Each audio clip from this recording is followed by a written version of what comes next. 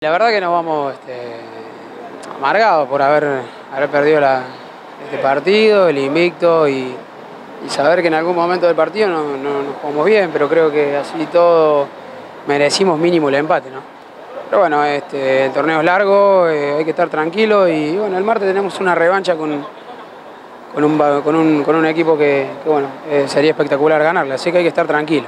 Te da bronca perder y bueno, más de de esta manera. Pero bueno, esto es fútbol, así que hay que estar tranquilo y bueno, seguir, seguir trabajando para, bueno, para el martes este, ganar el partido este tan, tan importante para todos. No, tratamos de hacerlo mejor.